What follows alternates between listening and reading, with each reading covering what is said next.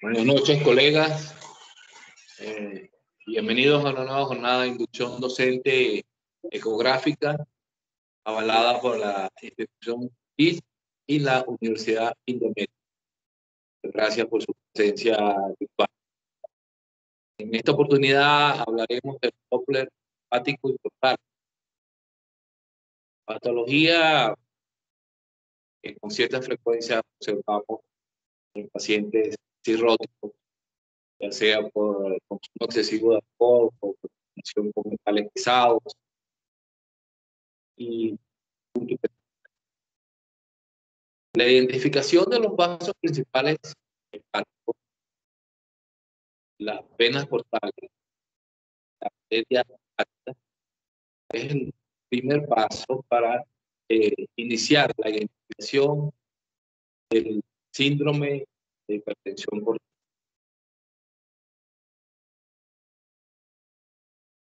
El ultrasonido Doppler hepático sirve para evaluar los tres principales vasos del, hígado, así como sus vasos adyacentes.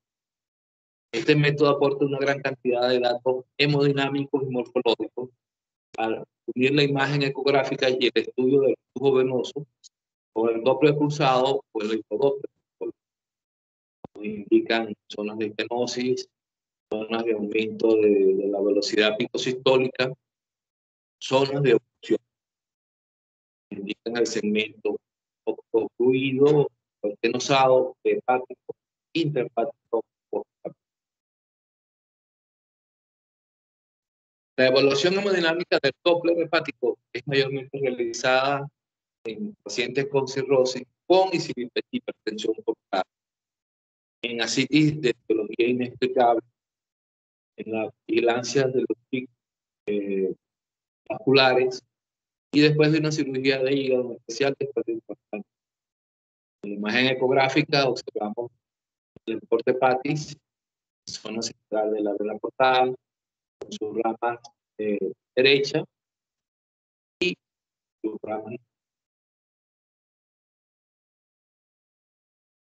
Las consideraciones a, a, tener, a tomar en cuenta es el, la secuencia del estudio en modo este, gris, gris, donde iniciamos el estudio con la valoración tridimensional del parénquima hepático.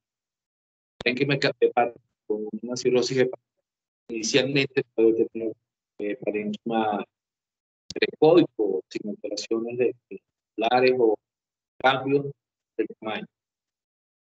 Una vez que se inicia los cambios eh, anatómicos, se logremos aumento de los glóbulos alrededor del lóbulo eh, derecho y del lóbulo caudal. Observaremos nódulos sólidos y pecoicos en su interior y en una segunda fase habrá disminución de los lóbulos hepáticos con bordes nodulares y asitis haremos medición del calibre del aporte, que normalmente es menor o igual. Evaluaremos los vasos en respiración tranquila en respiración moderada, ya que este movimiento nos indica eh, disminución o aumento de los vasos portales. Indicaciones del Doppler hepático. Valoración de una hipertensión portal. Estudio tumores hepáticos. Como parte del ultrasonido hepático, tenemos una valoración pre y posterior a una derivación sistémica y hacemos un seguimiento pre y postoperatorio del trasplante.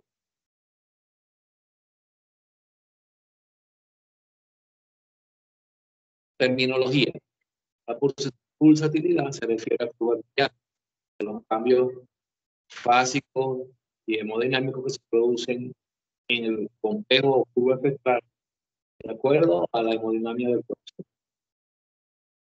La fasicidad, fasicidad son los cambios que se producen por eh, las, los patrones respiratorios. Y la periodicidad son variaciones de velocidad en las venas hepáticas y portales derivadas de la actividad cardíaca. El flujo hepático normalmente se dirige hacia el hígado lo conocemos como flujo hepatopeto. Cuando tenemos un flujo venoso portal investido, hablamos de un flujo hepatofugo. Y lo diferenciamos cuando están por encima de la línea basal, que es el flujo hepatopeto, o por debajo de la línea basal, y hablamos de un flujo hepatofugo.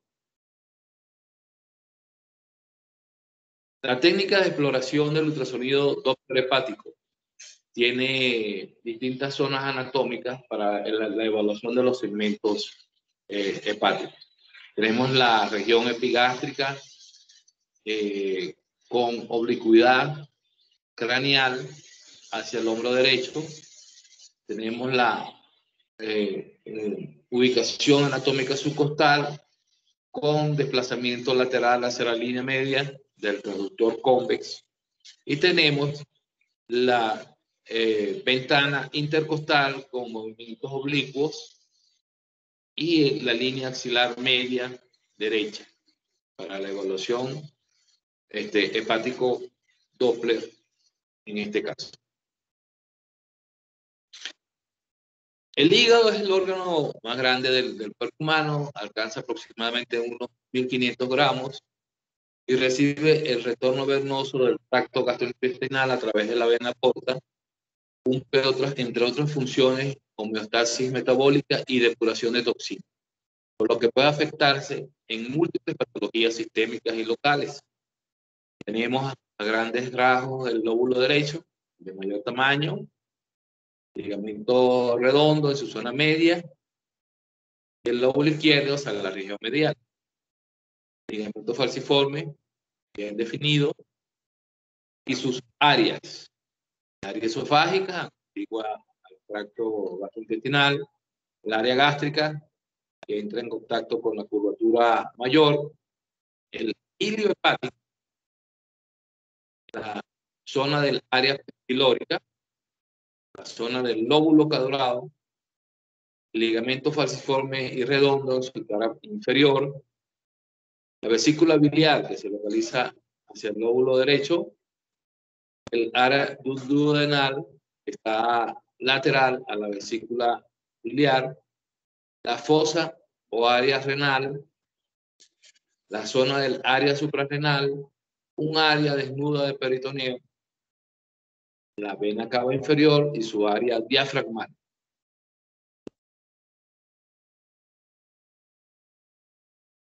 El hígado recibe aporte sanguíneo doble a través de la vena porta en un 70% y de la, de la arteria hepática en un 30%. Está rodeado por la cápsula de Gleason, protege al órgano y se halla prácticamente recubierto por peritoneo, excepto en el área desnuda de diafragmática. Este órgano se localiza en el cuadrante superior derecho del abdomen y ocupa el hipocondrio derecho, parte de la región epigástrica y se extiende de una forma leve insinuado hacia el hipocondrio izquierdo. Se encuentra ubicado fijado al diafragma y a la pared anterior del abdomen mediante el ligamento falciforme. Tiene una cara diafragmática anterior y superior y una superficie visceral que es inferior y posterior, en contacto con el esófago, el estómago, el duodeno, el colon transverso, el riñón y la glándula suprarrenal derecha y la vesícula biliar. El anatomista Konokui describe ocho segmentos en el área hepática. Tenemos que en el segmento 7 o antero superior del lóbulo derecho, el segmento 6 o postero inferior, segmento 8 o lo superior eh, del lóbulo derecho y el segmento 5 posterior inferior del lóbulo derecho. El segmento 4 se divide a su vez en el, lóbulo, el segmento 4B y segmento 4A y el lóbulo caudado en medial. El segmento 2 superior, antero superior y el segmento 3 forman parte del segmento lateral del lóbulo izquierdo. El segmento 1 es el lóbulo caudado. El segmento 2 es látero superior. El segmento 3 es látero inferior. El segmento 4 es medial, dividido en dos, en dos partes. El segmento 5 eh, es anterior inferior, el 6 es póstero inferior, el 7 es póstero superior y el 8 es antero superior. Eh, esta descripción anatómica nos ayuda a ubicarnos en lesiones eh, en su interior, ya sean tumorales, quísticas o vasculares. La visualización del segmento 1 eh, o segmento dorsal, llamado también caudado, se, ubica posterior al ligamento venoso. Está caudal al lóbulo izquierdo del hígado. Una imagen alargada, hipoecoica, que está en contigüidad con la vena cava inferior. Se visualiza en dos cortes. En el corte axial en epigastrio, angulado hacia el hombro derecho. Y en un corte paramediano, sagital derecho en epigastrio. Hacemos un corte axial o transversal y oblicuamos el transductor convex hacia hombro derecho en forma craneal o un corte paramediano sagital derecho en la región epigástrica. Y ubicamos el segmento 1. Los segmentos 2 y 3 son segmentos laterales del lóbulo izquierdo, como ya le había dicho. Se observan siguiendo las ramificaciones portales izquierdas, posteriores y anteriores. Se evalúa con múltiples cortes. Un corte axial oblicuo hacia la izquierda en epigastrio, con oblicuidad del transductor desde la línea epigástrica. Un corte sagital paramediano en epigastrio un corte axial en epigastrio subtifoideo. Y en esta imagen debemos buscar la, imagen de la bailarina. Las piernas de la, de la bailarina contactan con los segmentos eh, 3 y 2. La visualización de los segmentos 4A y 4B son segmentos mediales del lóbulo izquierdo. Se evalúa con múltiples cortes. Corte axial oblicuo hacia la izquierda desde región epigástrica, un corte axial visualizando las venas superpáticas, un corte transversal o axial en epigástrico subsifoideo buscando la H portal, de la cual hablaremos posteriormente, y también nos debemos eh, recrear con la imagen de la bailarina que contacta con estos segmentos 4A y 4B.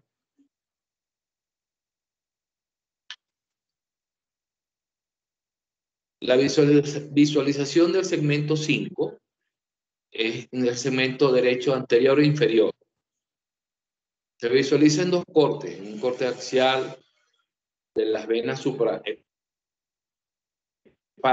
eh, derecha, media izquierda, un corte axial paramediano derecho transcostal y un corte sagital de la línea media axilar derecha. Con estos cortes ubicamos los segmentos eh, del lóbulo derecho. El lóbulo, eh, el segmento 5 es anterior e inferior en, la distribución anatómica hepática y se visualiza, se visualiza en dos, de dos formas. En el corte axial de las venas suprahepáticas localizamos el segmento 5 un, corte subsifoideo angulado a hombro derecho o un corte axial para mediano derecho transcostal o sagital desde la línea media medio axilar derecha. Los segmentos 6 y 7 son segmentos del lóbulo derecho. El segmento 6 es un segmento posterior e inferior y el segmento 7 es un segmento posterior y superior. Ambos se visualizan con cortes sagitales. Eh, en la línea medio axilar ubicamos el corte longitudinal del, del riñón derecho y ubicamos los tres segmentos ya nombrados, el 5, el 6 y el 7.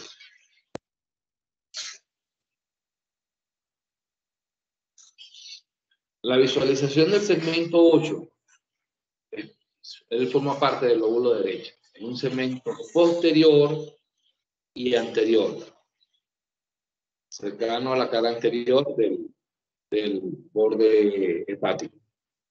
Observamos en un corte axial para mediano derecho transcostal subadyacente a la vena hepática derecha. Observamos este corte axial de las venas suprahepáticas con un flujo hepatofugo normal porque se está alejando del transductor. Y en un corte del eh, axial para mediano observamos el flujo de las arterias y venas eh, hepáticas con un Doppler de amplitud. La ubicación de las venas eh, las relacionamos con las fisuras intersegmentarias. Entonces tenemos que la vena suprahepática derecha se localiza en la cisura intersegmentaria derecha, que separa los segmentos anterior y posterior del lóbulo derecho. La vena suprahepática media se localiza en la cisura lobular principal y esta separa los lóbulos derecho e izquierdo hepáticos. Y la vena suprahepática izquierda eh, se localiza en la cisura intersegmentaria izquierda que separa los segmentos mediales 4A, eh, 4B de los segmentos laterales 3 y 2.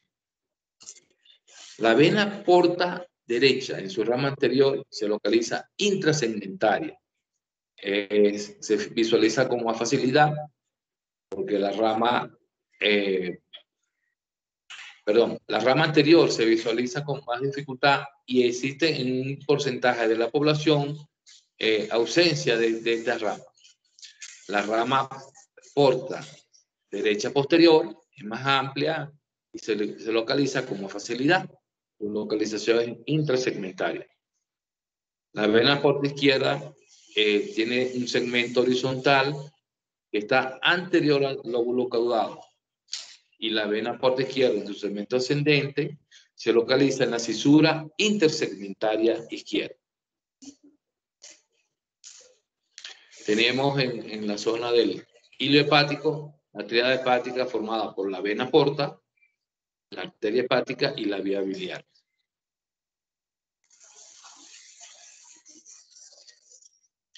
Las venas están revestidas por las paredes fibrosas y pericoicas de los espacios portales y hacen que la imagen vascular sobresalga del resto del, del parénquima.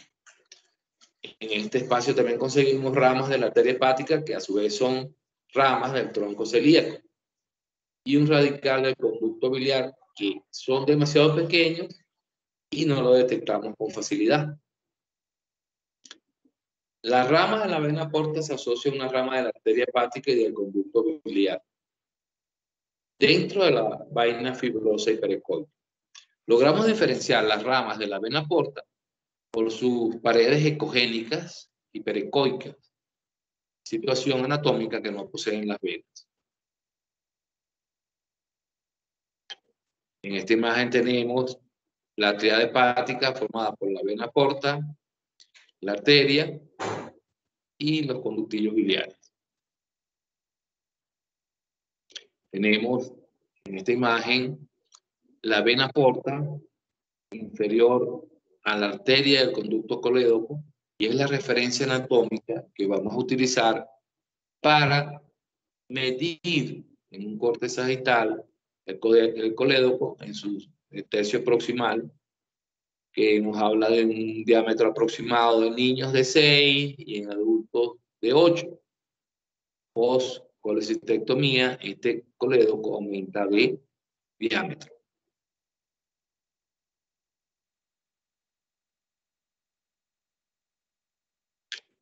La vena porta, transporta del 70 al 80% del flujo hepático. La localizamos a través de la ventana intercostal oblicua derecha o en la ventana oblicua subcefoidea con angulación craneal. Intersegmentaria, lo localizamos excepto la porción ascendente de la vena porta izquierda, que es intersegmentaria.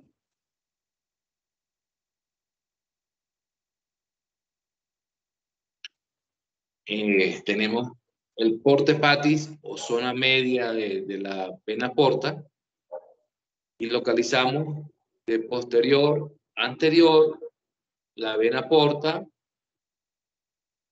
el colédoco y la arteria. Su diámetro es aproximadamente de 11 milímetros con una desviación estándar de 2, de 2 milímetros. Como ya les dije, son visibles por el colágeno que las hace hiperecoicas.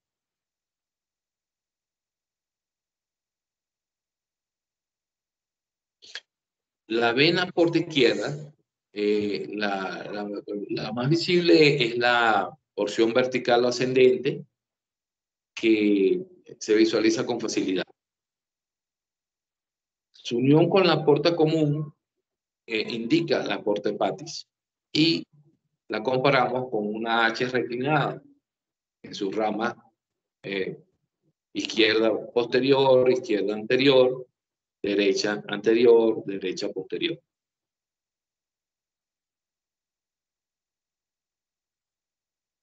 La vena porta derecha en su rama posterior es más clara, más fácil de identificar en su unión con la porta hepatis, son de paredes ecogénicas y eh, por su diámetro se nos hace más fácil eh, visualizar.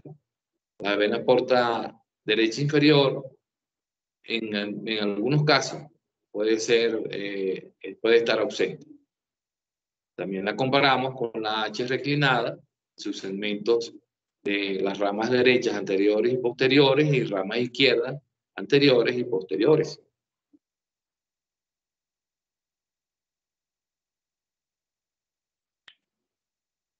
Imagen próxima a la vena cava inferior, cuando observamos la vena porta central o eh, porta con su rama porta derecha y su rama porta izquierda. Observamos solamente dos de los segmentos de la H.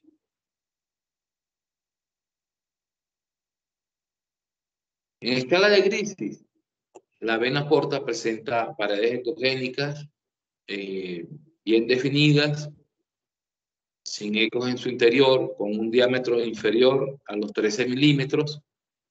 Este diámetro disminuye durante la inspiración y aumenta durante la expiración. También se modifica en los instantes o momentos postpandriales. En algunos casos pudieran verse ecos internos en estos vasos.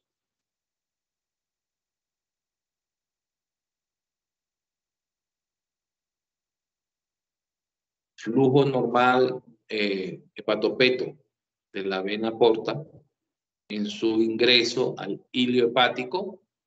Eh, observamos una vena con un flujo completo, laminar, sin obstrucciones o estenosis. Presenta como características al Doppler eh, espectral una velocidad uniforme, un trazo con cierta facilidad que se produce por los movimientos respiratorios y un grado leve de periodicidad por influencia del corazón derecho. Observamos nuevamente el ingreso de la vena porta al hepático sin obstrucciones, sin estenosis en su formación y un flujo hepatopeto o supravasal, uniforme con ligeros cambios fásicos en su trayecto. La vena porta tiene sus ramificaciones, derecha e izquierda, y el color varía de acuerdo a la posición. En rojo tenemos la vena porta izquierda y en azul la vena porta derecha debido a la dirección con relación al haz del Doppler color.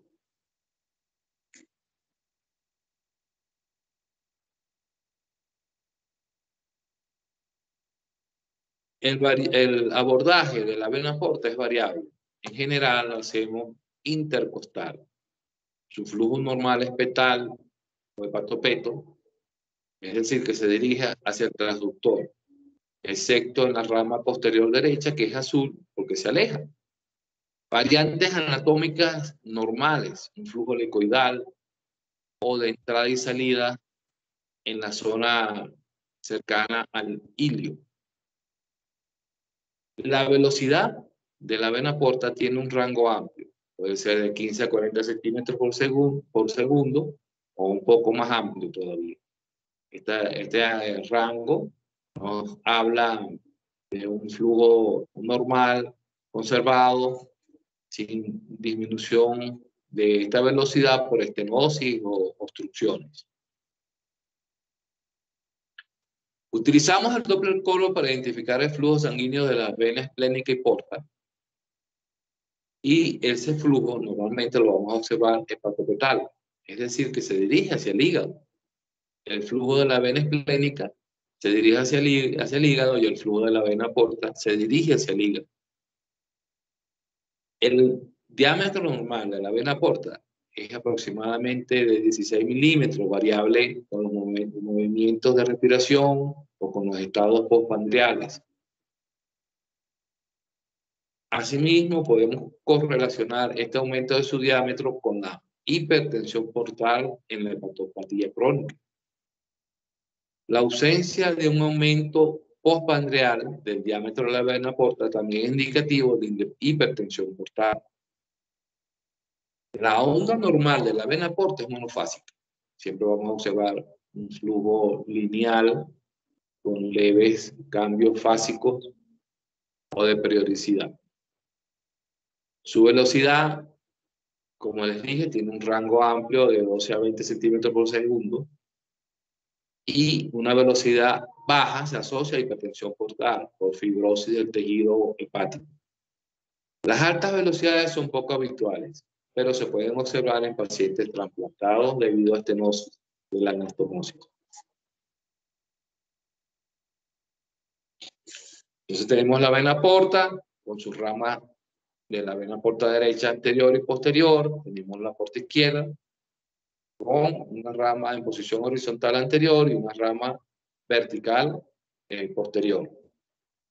Observamos la vena porta hepatis que muestra el flujo hepatopetal con la eh, observación de que la vena porta derecha posterior eh, tiene un flujo hepatofugo eh, por la dirección que toma con respecto al, Doppler, al programa Doppler Col. La arteria hepática está adyacente a la vena porta y tiene un flujo aumentado con respecto a la vena porta. Nuevamente observamos ramas de la vena porta izquierda y su ecogenicidad de las paredes. Este observamos parte de la vena porta derecha posterior. La vena cava inferior, cuyo diámetro promedio no debe exceder de los 2 centímetros. En este dibujo esquemático observamos en la segmentación de Cui, el segmento 8 y el segmento 7 y los segmentos mediales 4. La ubicación de la aorta abdominal y la posición de la vena cava inferior.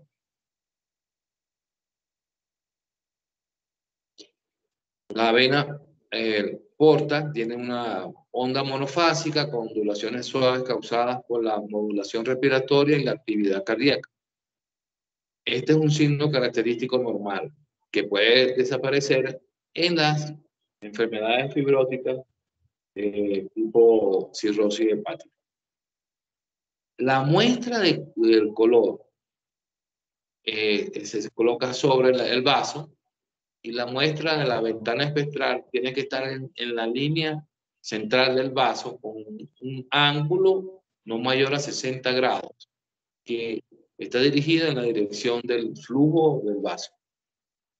Colocamos la, la ventana del doble color, la ventana espectral y su ángulo menor a 60 grados en dirección al flujo del vaso. Observamos una vena porta normal con las oscilaciones por variaciones fásicas y de periodicidad y flujo en dirección hepática o hepatopeto. Los patrones de flujo fisiológico son los flujos continuos hepatopeto y pulsátil hepatopeto. El flujo pulsátil puede tener eh, influencia por, por, las variaciones de la hemodinamia del corazón derecho. El patrón de flujo eh, patológico puede ser un flujo pulsátil hepatopeto o hepatofugo en la vena porta o sus ramas. Y un flujo hepatofugo dependiente de la respiración en la vena porta o sus ramas, eh, con variaciones por fibrosis hepática. Tenemos también un flujo hepatofugo, continuo en el tronco de la vena porta y puede haber flujo hepatofugo continuo en ramas de la vena porta. Algo severo es un flujo venoso o flujo cero por oclusión del vaso. Tenemos un flujo al Doppler espectral hepatopeto en dirección hacia hacia el hígado, ondulante, y laminar. La velocidad de este flujo en su rango varía. El flujo puede disminuir en pacientes con enfermedad hepática crónica. Puede incrementarse en algunos casos debido a la dilatación de la vena esplénica y puede ser pulsátil con pacientes con insuficiencia cardíaca y con insuficiencia tricuspidia.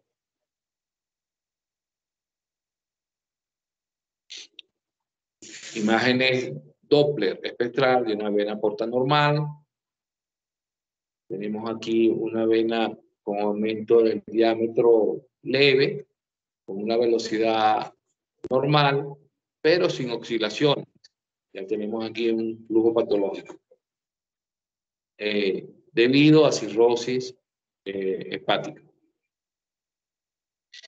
Si tenemos disminución de la velocidad portal, asítil, y aumento del vaso de plenomegalia, ya nos está orientando hacia eh, una hipertensión portal con una cirrosis hepática. En este caso, es evidente el flujo hepatofugo en un porcentaje no tan alto de los pacientes cirróticos. No todos los pacientes van a presentar un flujo hepatofugo un aumento del diámetro y velocidad de las arterias hepáticas y las colaterales o un flujo helicoidal de entrada y salida nos habla de patología de hipertensión portal. La velocidad de la arteria hepática aumenta eh, de forma contraria a la disminución del flujo venoso portal. Las venas hepáticas drenan el hígado dentro de la vena cava inferior que se comunica con la aurícula derecha. Hay dos factores que conforman este espectro venoso. La naturaleza flexible del hígado normal, que puede expandirse con facilidad, y la estrecha proximidad de la aurícula derecha, lo que hace que haya un breve retroceso de sangre hacia el hígado durante la sístole auricular. Esto produce un flujo trifásico, que vamos a ver más adelante.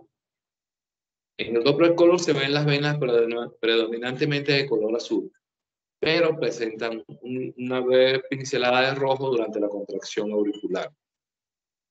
Las alteraciones de esta onda de las venas hepáticas se debe a múltiples factores. Las cardiopatías, las hepatopatías y enfermedades extrahepáticas que afectan el hígado, como la citis. Por lo tanto, las alteraciones pueden ser inespecíficas. No hay una causa específica de las alteraciones del flujo trifásico de las venas hepáticas. Un dibujo a flor de piel de la distribución de las venas hepáticas. Partiendo de la vena cava inferior, tenemos la rama izquierda, la media y la derecha. Nuevamente un dibujo esquemático representando las ramas de las venas suprahepáticas en el interior del, del órgano. En una imagen normal observamos las venas cava inferior con la confluencia de las venas suprahepáticas derecha, media e izquierda. En casos de insuficiencia cardíaca, estas venas en su conjunto van a producir una dilatación importante. En este caso, en un corte subsifoideo con inclinación oblicua hacia el hombro derecho, ubicamos la vena suprahepática izquierda. En un corte eh, subcostal, ubicamos en posición transversal del traductor la vena hepática derecha. Las venas suprahepáticas al Doppler color tienen un llenado continuo. Tenemos dos formas de medir el lóbulo izquierdo del hígado. En la confluencia de la vena suprahepática media con la vena suprahepática izquierda, partimos en una línea recta hacia el borde anterior y tenemos la medición del lóbulo hepático izquierdo, que no debe exceder los 6 centímetros. Anatomía vascular normal de las venas suprahepáticas, donde observamos un flujo trifásico con contracción atrial eh, suprabasal y las contracciones y dilataciones auriculares infravasales.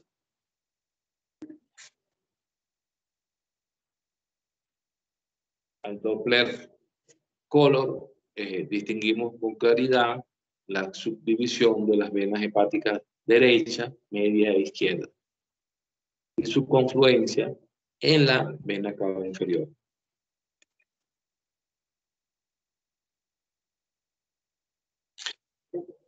El pulso trifásico en las venas hepáticas es la onda normal. La sístole auricular se observa con un flujo hepatopetal, indicado por las flechas en el mar. Tenemos en este dibujo esquemático la subdivisión de las venas, partiendo de la vena cava inferior, su vena hepática derecha, la vena hepática media y la vena hepática izquierda.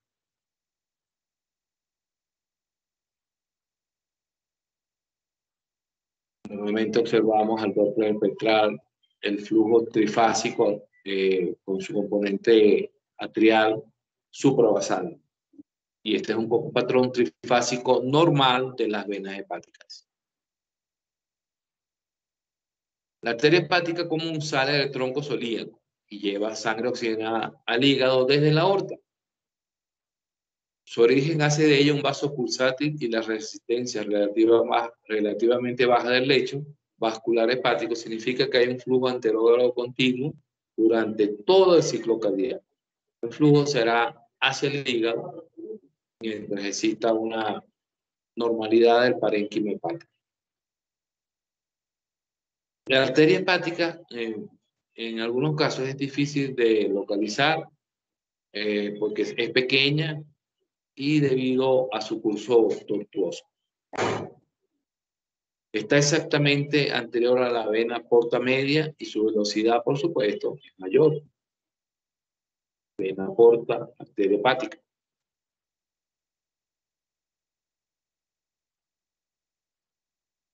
El flujo de la arteria hepática al Doppler espectral es un flujo trifásico con un componente sistólico bien definido, con una ventana espectral cubierta, un componente diastólico adecuado y un reflujo eh, también definido infravasal. En este caso estamos observando una imagen eh, dominada por el Doppler de amplitud o polo, donde observamos el flujo de la arteria hepática y al Doppler espectral la curva trifásica normal de ella. Su pico sistólico es relativamente alto, con un buen flujo telediastólico anterógrafo.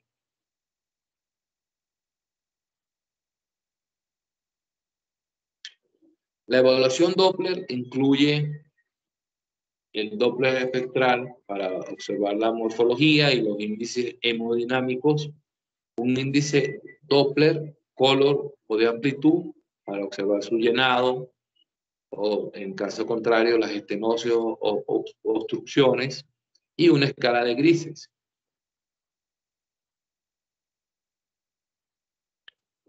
Los parámetros técnicos eh, para realizar el Doppler color son los mismos o similares a, las Doppler eh, de otras zonas. Tenemos que manejar la línea basal eh, y generalmente disminuirla en el caso de querer mejorar la, morfología de la curva espectral. Tenemos una escala de velocidad PRF que aumenta o baja de acuerdo a la, morfología de, de, la curva espectral, los filtros que nos ayudan a mejorar la morfología y las inversiones de flujo tenemos que tenerlas pendientes. Al doble espectral debemos mejorar la ganancia espectral con el, PRF, mantener un ángulo entre 0 y 60 grados y un tamaño y posición de la muestra que debe estar entre 1 y 2 milímetros. La muestra que se localiza en la zona medial de los vasos. Al Doppler color debemos manejar las ganancias de color para evitar el, el defecto de aliasing y manejar la barra y caja de color.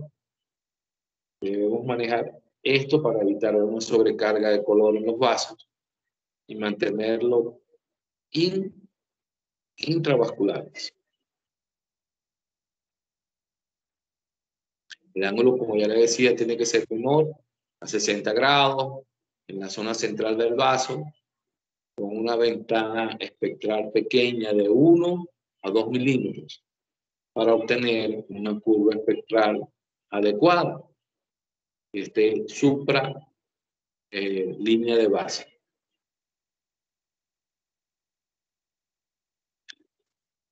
Esta imagen nos habla del paso técnico de, la colocación de la ventana color, de la muestra color y del ángulo en dirección al flujo y que no sobrepase los 60 grados para obtener una curva espectral adecuada. Tenemos eh, variaciones con, en la parte pulsátil con una alta fluctuación en las arterias, una baja fluctuación en caso de, de insuficiencia o cardiopatía o de cirrosis, una no fluctuación en caso de cirrosis hepática y una fascia o ausencia de flujo por una obstrucción total. Nuevamente hacemos hincapié en la velocidad pico sistólico en el, caso de la, del Doppler espectral, que no debe variar más de 5 metros por segundo.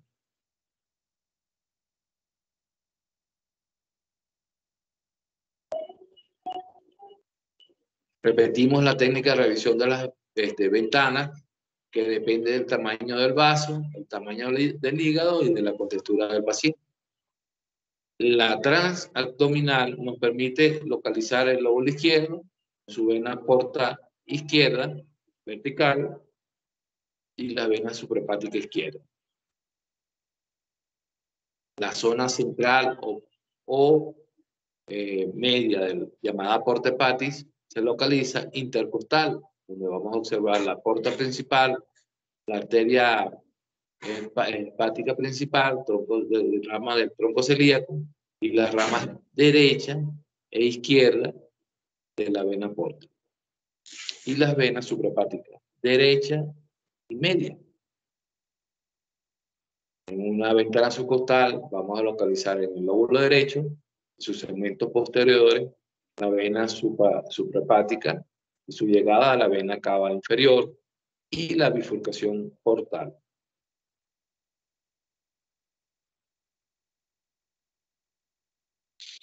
manejamos la parte técnica, observamos un defecto, un espectro pequeño, eh, una curva espectral muy pequeña y desplazamos la línea basal generalmente eh, en sentido inferior y movemos el PRF eh, hacia la parte inferior para mejorar la curva espectral.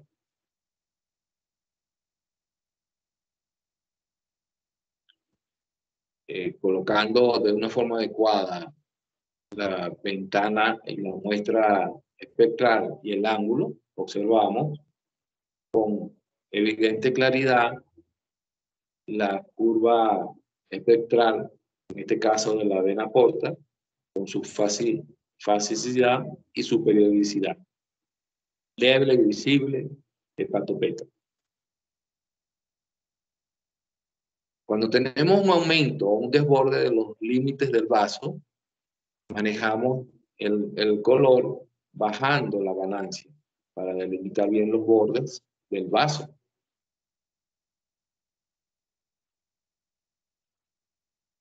Cuando tenemos un PRF muy bajo, que es dos veces, menos dos veces el PRF, lo que se conoce como el NX, menos dos veces el PRF, observamos aliasing en, en la zona del vaso, en la zona central, y mejoramos la situación aumentando el PRF, moviendo la línea basal de color y aumentando el ángulo Doppler.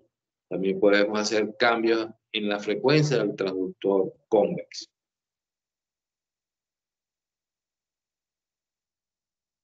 La anatomía de los vasos hepáticos eh, concentrada desde el ilio. Observamos la vena portal derecha, la vena portal izquierda con su rama.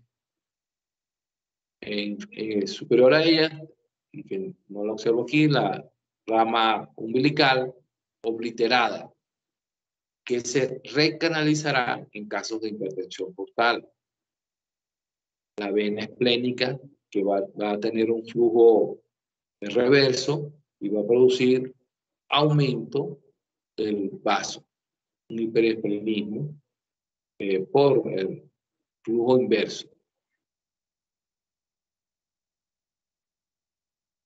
También tenemos la rama gástrica izquierda que cuando recibe su flujo inverso, en el caso patológico de la hipertensión portal, eh, influye en la formación de las varices esofágicas y los sangramientos por ruptura de las varices esofágicas.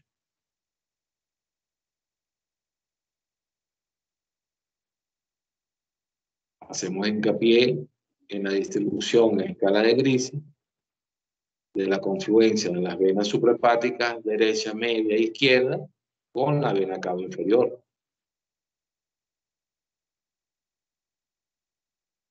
Las venas suprahepáticas normales tienen un abordaje variable, tienen una morfología trifásica. En suprabasal, la sístole atrial. En infrabasal, perdón, la fase de llenado auricular.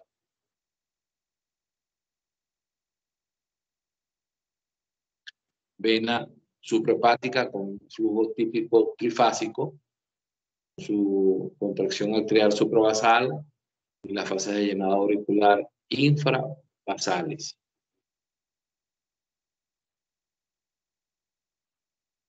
Tenemos variaciones en, la, en el espectro normal de la vena hepática, que puede ser tetrainflexional o tetrafásico, con la contracción atrial, la atrial y las, y diferentes fases de llenado atriales, eh, auriculares una explicación esquemática de la, de la curva espectral de la vena suprahepática normal. Tenemos una contracción auricular que se localiza suprabasal, un efecto de succión post-contracción auricular y una fase de llenado rápido ventricular. Esto nos produce esta onda trifásica típica de las venas suprahepáticas.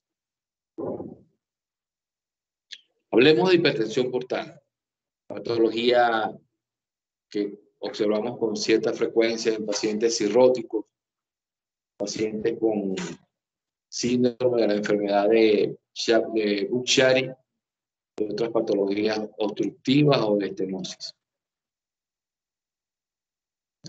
Se define como un aumento de la presión venosa portal que se mide eh, eh, de una forma directa y observamos un aumento de la presión mayor a 5 milímetros de mercurio respecto a la presión de la vena cava inferior. Y también observamos una presión de la vena esplénica mayor a 15 milímetros de mercurio o una presión en la vena porta que se mide quirúrgicamente mayor a 30 centímetros. Esta hipertensión portal siempre es el resultado de algún proceso que obstruye el flujo de la sangre en el sistema porta y se clasifica de la siguiente manera.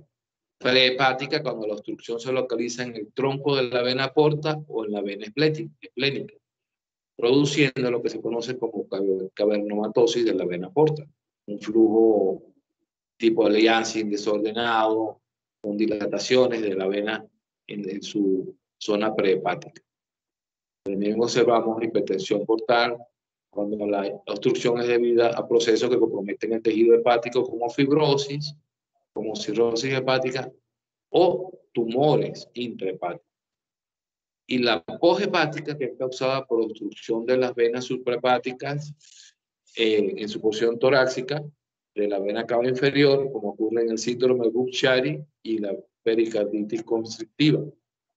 Entonces tiene tres segmentos que se afectan en la hipertensión portal. La prehepática, se localiza en, en el hilo hepático, la hepática, ya sea por cirrosis o fibrosis hepática, y la poshepática, cuando ocurre obstrucción de las venas suprahepáticas o de la porción torácica de la vena cava inferior, como ocurre en el llamado síndrome de y la pericarditis constrictiva. Tenemos la clasificación de la hipertensión portal hepática, que puede ser presinusoidal, cuando las lesiones comprimen las ramificaciones portales antes de alcanzar los sinusoides hepáticos, que es quitosomiasis o parásitos eh, transmitidos por eh, caracoles, eh, por sarcoidosis o lesiones múltiples neoplásicas, por fibrosis congénita. Sinusoidal, cuando se complementen directamente a los sinusoides. Esto ocurre en el hígado graso y en la cirrosis hepática. Hipoxinusoidal, cuando se ve en la enfermedad venoclusiva y en la cirrosis. Tenemos entonces una clasificación sinusoidal pre, sinusoidal y post-sinusoidal.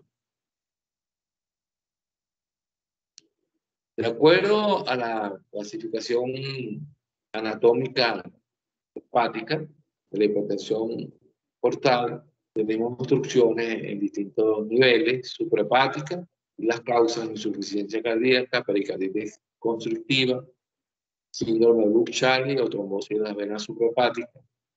En la zona hepática post-sinusoidal o sinusoidal por enfermedades venoclusivas, por cirrosis o hepatitis crónica. En la presinusoidal por eh, infectación por egitosomiasis, por linfomas o por fibrosis hepática con, con Y en la prehepática o infrahepática, trombosis de la vena portal, trombosis de la vena esplénica, compresión extrínseca por alguna tumoración o invasión tumoral. Las manifestaciones clínicas, granasitis, una hepatomegalia dolorosa, una irritación yugular de origen cardíaco, y como les dije, un hígado sano al comienzo. Aparecen las circulaciones colaterales eh, como recanalización de la vena hepática, las derivaciones portosistémicas, observamos asitis, hepatoesplenomegalia, varices esofágica, hemorragia digestiva y un hígado enfermo desde el inicio con una clínica florida de una hipertensión portal.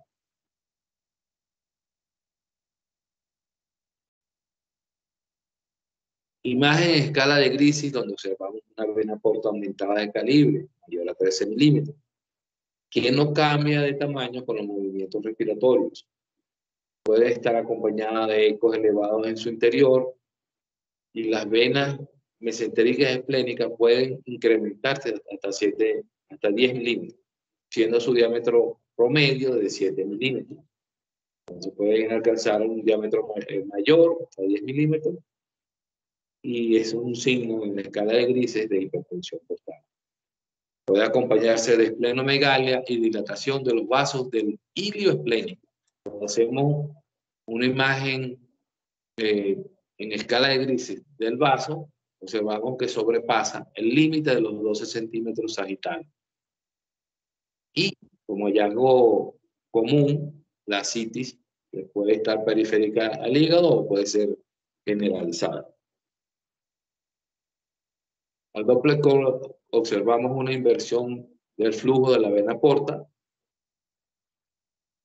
Se observa continuidad de flujo desde el ligamento redondo por delante hasta la superficie del hígado. Y pueden observarse ya pasos colaterales en caso de hipertensión portal severa. El registro de la vena porta. En algunos casos se transforma de hepatopeto a hepatofugo y no hay cambios de fásicos con, con los movimientos respiratorios.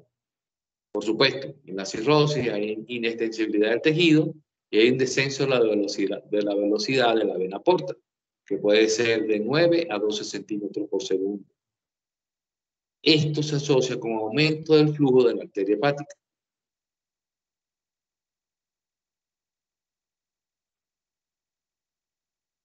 Observamos dilatación de la vena esplénica en, en su zona iliar. Observamos cavernomatosis de la porta y derivaciones portosistémicas al Doppler polo en casos de hipertensión portal. Aumento del diámetro de la vena esplénica de 7 milímetros, puede llegar a 10 o más milímetros. Cavernomatosis de la porta, con flujo irregular, heterogéneo, de entrada y salida, y derivaciones ortosistémicas en, en el vaso.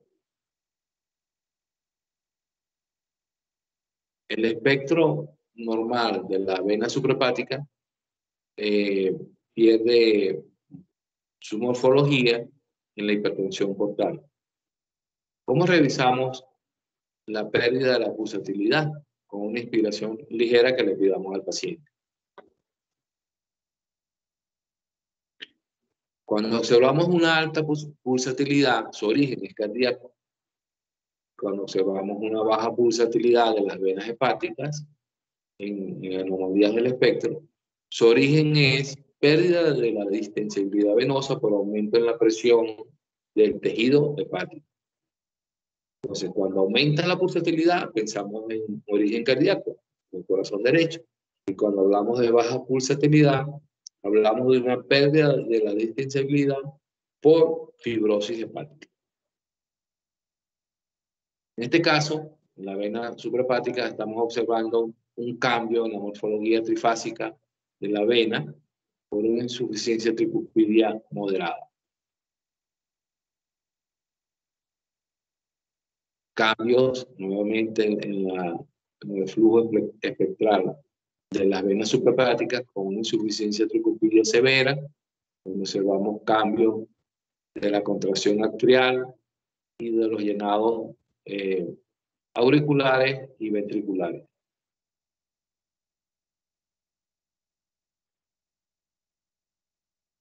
Una arteria hepática normal presenta un flujo de aproximadamente el 20% hacia el hígado.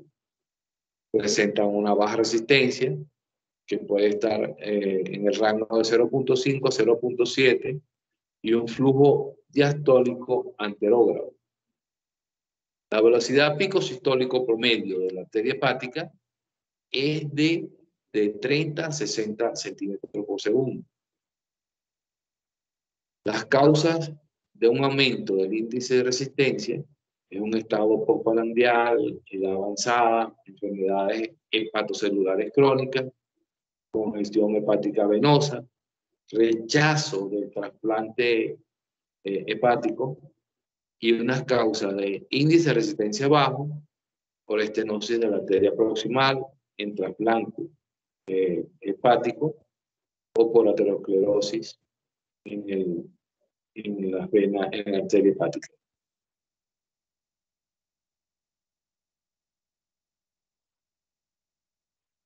Complejo espectral de una arteria hepática normal, eh, donde vemos eh, flujo permeable en, su interior y un, espectro con una resistencia conservada de 0,61.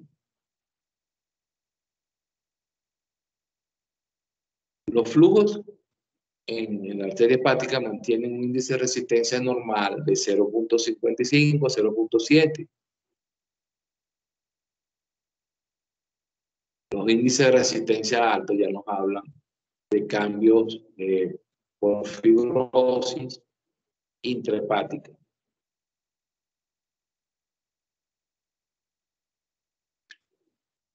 Esta es una variante normal del flujo portal. Se conoce como flujo helicoidal o de entrada y salida. Es una variante normal del flujo portal.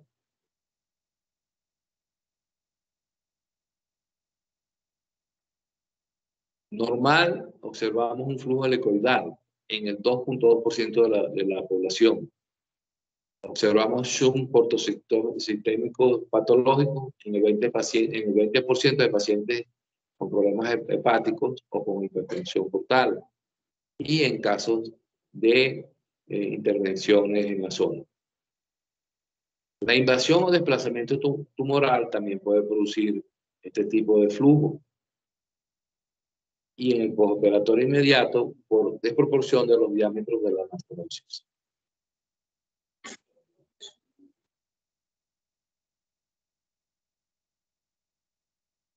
Curva espectral de del índice de pulsatilidad normal y curvas anormales por aumento del índice de la pulsatilidad.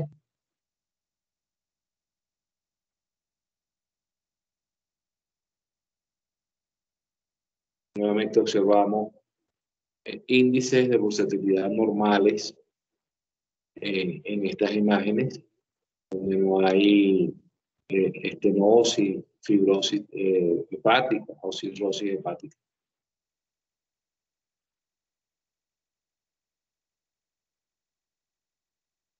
En el caso de una obstrucción total de la, de la vena porta, vamos a observar esta imagen típica donde no observamos flujo en la onda, en el Doppler espectral.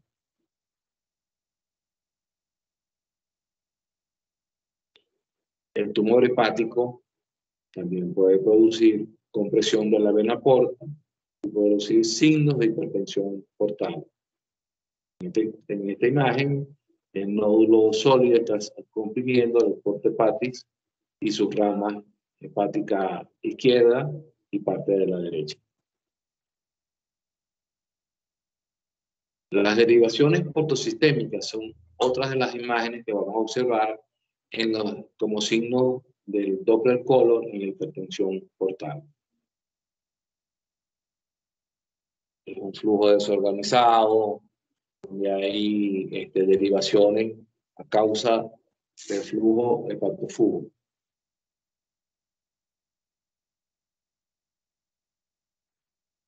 La arteria hepática, eh, en su pico sistólico, vamos a observar que aumenta de una forma severa. En este caso, estamos observando una velocidad sistólica o un pico sistólico de 127 centímetros por segundo, conservando su índice de resistencia. Este es uno de los cambios que se produce en la hipertensión portal.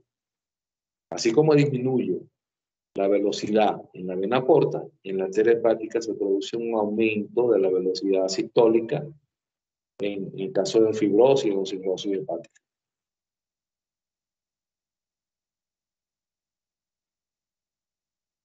Nuevamente observamos en esta imagen de espectral un flujo hepatopeto alterado eh, con cambios en su onda espectral evidentes. Se vuelve pulsátil el flujo en esta imagen espectral de la vena porta. El flujo hepatofugo, aunque no se localice en un alto porcentaje de pacientes, cuando lo tenemos, eh, nos ayuda a identificar la hipertensión portal, a conocer la, permeabilidad de los shunt portosistémicos, las derivaciones portosistémicas, que producen un flujo hepatofugo hacia los órganos blancos, eh, vaso, y un aumento de este.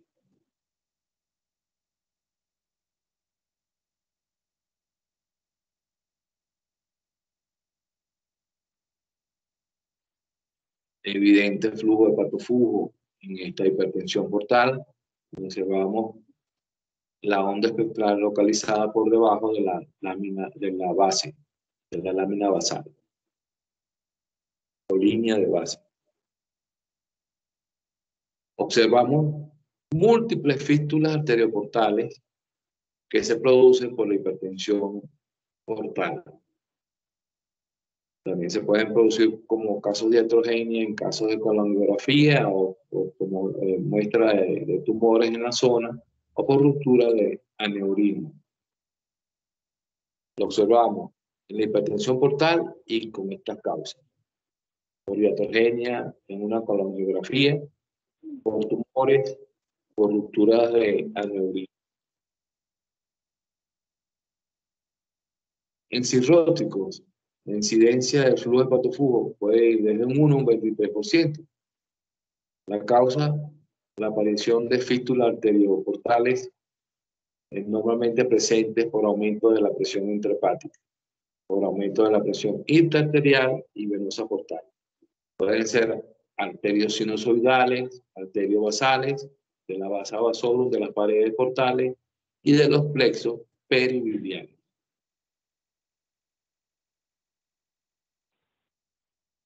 El chum eh, quirúrgico espontáneo se observa en este caso con un flujo de hepatofugo que hace blanco en el vaso y en la vena renal izquierda. La dilatación de los mismos vasos, el vaso esplénico y de la vena renal izquierda.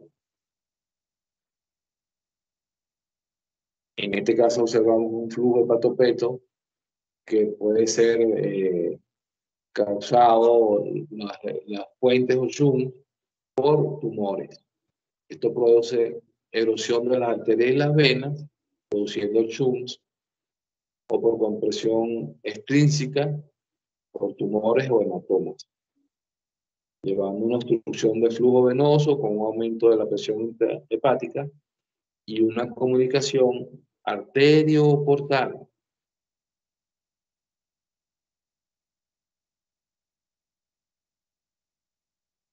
En los TIC y en la permeabilidad de la vena paraumbilical, el chum arterioportal genera un flujo en esta zona. Esta es la vena umbilical en este esquema y se recanaliza por el flujo hepatofugo, produciendo en el paciente en su zona superficial la llamada, el llamado signo de la medusa por dilatación por las venas superficiales nivel periumbilical. Observamos en esta imagen la colocación de un TIC para mejorar la hipertensión portal. Eh, situación que analizamos con el Doppler color para observar su flujo y con el Doppler espectral para observar sus velocidades sistólicas. Tenemos un tubo eh, tipo TICS localizado en la vena porta para producir derivaciones y mejora de la hipertensión portal. Esta es una imagen patológica de la colocación de shunt, donde observamos una imagen al Doppler color tipo liasin por estenosis y una curva espectral patológica en la zona de la colocación del shunt. Observamos la porción proximal del tips en la vena porta, produciendo estenosis. En la escala de grises observamos zonas hipoecogénicas en su interior, que nos habla de obstrucción, y en el Doppler espectral una imagen patológica de la curva espectral por la obstrucción o estenosis de este, de este tipo.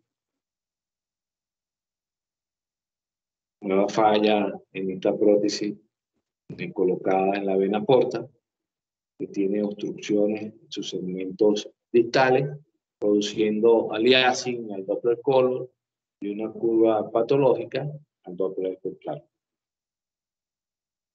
En caso de un hematoma también podemos observar intrahepático, subcapsular, podemos observar obliteración de la vena porta por compresión del hematoma. Y en este caso también eh, produce compresión del estén. Las derivaciones eh, sistémicas esplénicas evidencian en una escala de Griffith la dilatación de la vena esplénica, que ya mencionamos que normalmente no es mayor a 7 milímetros, con zonas de derivación ortosistémicas en la zona del ilio, en el doppler colon. Y en la escala de Grises, un aumento superior a los 12 centímetros del diámetro sagital del vaso. Un hiperesplenismo secundario a la hipertensión portal. Al doppler color observamos las derivaciones portosistémicas en la zona del ilio y un aumento del diámetro de la vena esplénica.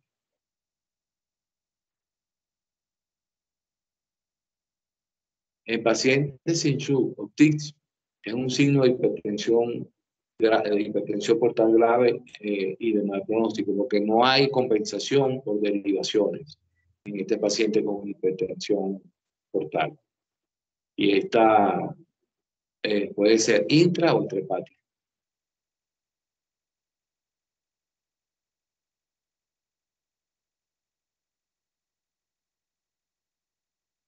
Patológicos, en caso de la, Doppler espectral, en caso de la zona del hilo hepático, con disminución del lóbulo derecho en esta imagen en la zona de la, escala de grises, y asitis periférica.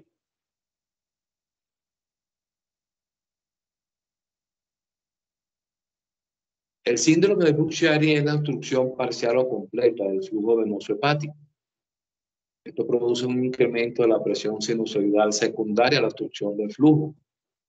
Esto lleva a una hipertensión portal y una congestión hepática que conlleva hipoxia y disfunción de los hepatocitos puede ser global o segmentaria, o comprometer la vena cava inferior.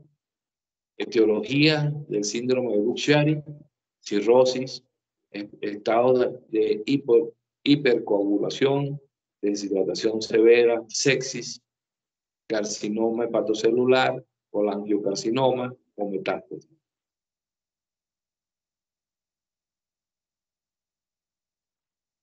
En fase aguda del síndrome de Buchiari podemos encontrar un flujo ausente o severamente restringido, una posible trombosis de las venas hepáticas, presencia de colaterales intrahepáticas, flujo en dirección opuesta, reducción de la velocidad, flujo continuo en la vena porta, como parte de algunos de los signos de la hipertensión portal inicial, y el parénquima del tejido hepático puede lucir hipoecóico debido al edema. El Doppler puede estar ausente o restringido severamente en la zona de la obstrucción las venas hepáticas lucen tortuosas, fragmentadas, estenóticas con flujo lento o con reversión del flujo. Estas son derivaciones hepáticas que se producen por la obstrucción de la enfermedad. Eh, podemos observar estenosis de la vena hepática derecha, su segmento proximal, ecogenicidad de la vena hepática derecha, aumento del diámetro AP del lóbulo caudal.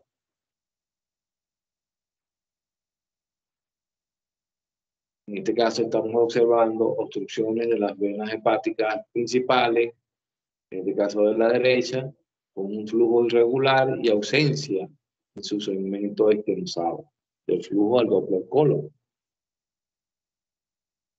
En su fase crónica observamos hipertrofia del lóbulo caudado y de segmentos que inicialmente no estaban afectados. Atrofia de los segmentos comprometidos en la zona de la obstrucción.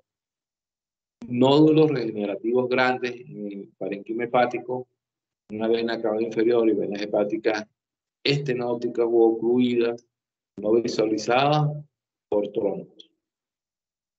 Esto nos habla de hallazgo subjetivo de enfermedad hepática parenquimatosa, como la citis y la hipertrofia del lóbulo caudado. Se desarrollan nódulos regenerativos debido a que el aporte arterial es inadecuado. No observamos las venas hepáticas al doble colon o están severamente tenosadas y hay presencia de colaterales intra y extrahepáticas. En este caso observamos una trombosis maligna la vena hepática por una tumoración en la zona eh, del segmento afectado. Observamos neovascularización venosa hepática y obstrucción de las venas hepáticas principales. Vascularización de las venas hepáticas eh, accesorias que se dilatan como mecanismo compensatorio la obstrucción de las venas hepáticas principales.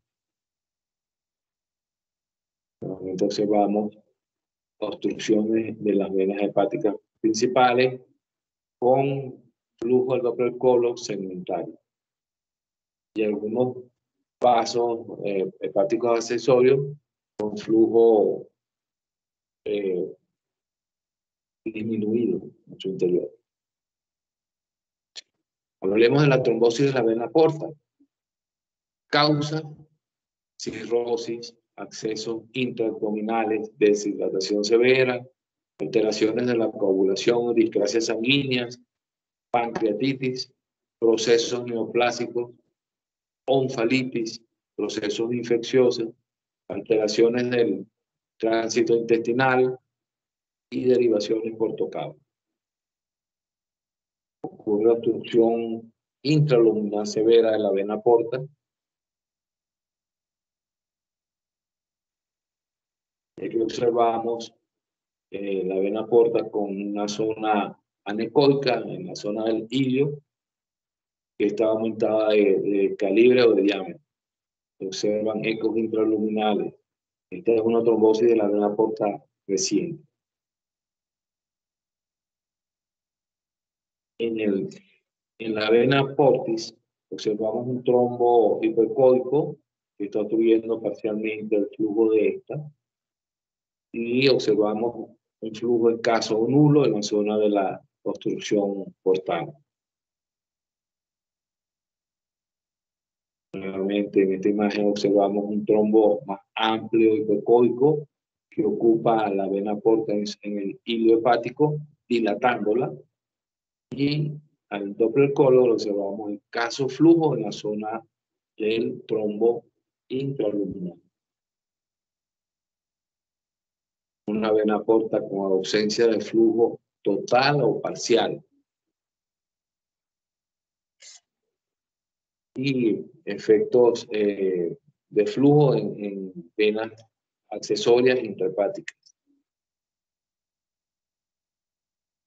Podemos registrar al Doppler ausencia de, señal intraluminal en la zona del Doppler, en la zona Doppler de la vena porta que está obstruida.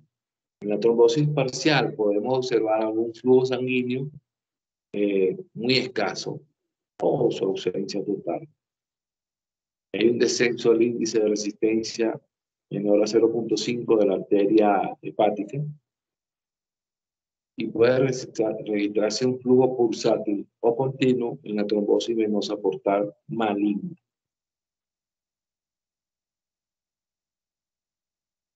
Observamos en esta eh, imagen Doppler espectral, el flujo pulsátil de la vena porta por trombosis de la misma.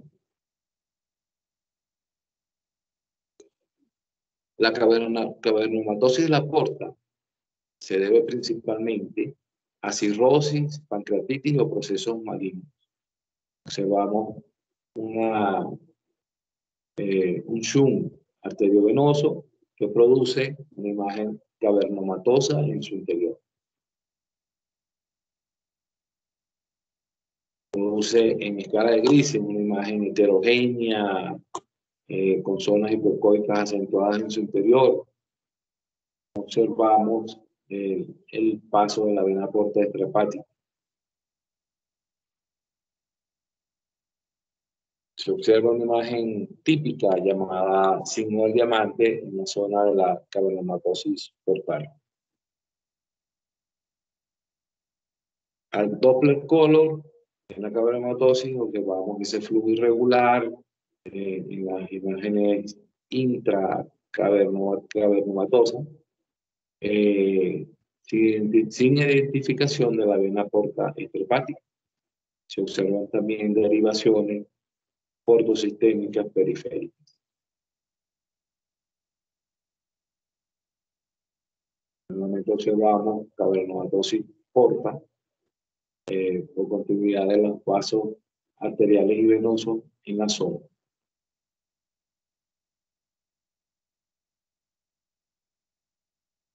La cavernomatosis portal ocurre en algunos casos como mecanismo compensatorio, en los casos de hipertensión portal.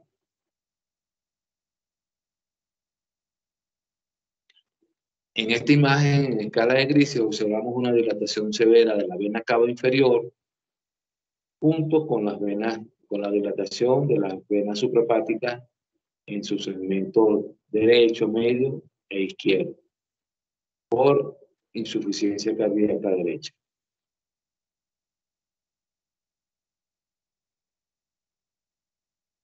Imagen espectral por sobrecarga eh, cardíaca derecha, donde observamos patológica la curva espectral con cambios de la contracción arterial y los llenados auriculares y ventriculares.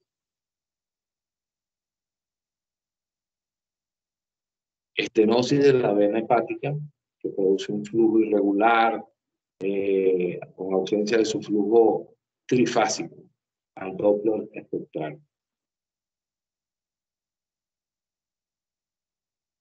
En esta imagen observamos un hemangioma hepático típico hiperecoico redondeado que puede producir compresión de las venas hepáticas, compresión extrínseca. Eh, esto no, evidencia ausencia del flujo del Doppler colon en algunas de las ramas de la vena suprahepática. Muchas gracias. Eh, ¿Preguntas, por favor?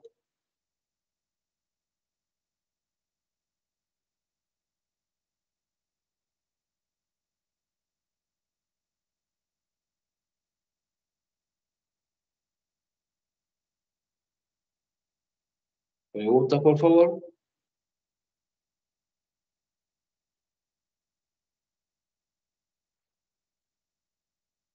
¿Alguna acotación, alguna interrogante? No, Doc, buenas noches. Eh, la verdad quedó muy claro el tema, gracias. Interesante tema mm, de práctica continua para dominarlo. No es fácil, es un tema fácil.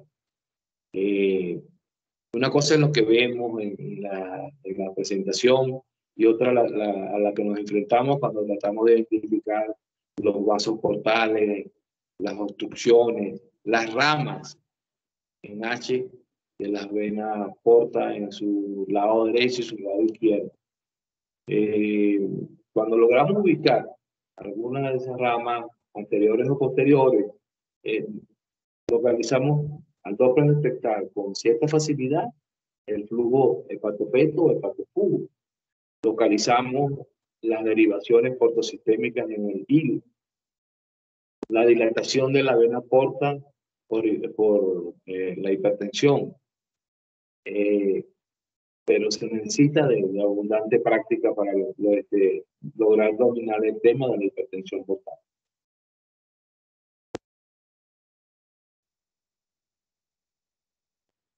¿Quedó bastante claro el tema? Sí, Doc. Sí, Doc. Bueno, muchas gracias. Mañana hablaremos sobre el Doppler de miembro superior. Un tema también interesante donde trataremos de abordar la circulación venosa y arterial, las variantes anatómicas, las patologías típicas de un Doppler de miembro superior. Muchas gracias por su asistencia. Mañana nos vemos. Gracias. Gracias, Doc. Linda noche. Buenas noches, Doc. Que tenga buena noche. buenas noches. Buenas noches. Buenas noches, doctor. Buenas noches, doctor. Buenas noches. Gracias, gracias.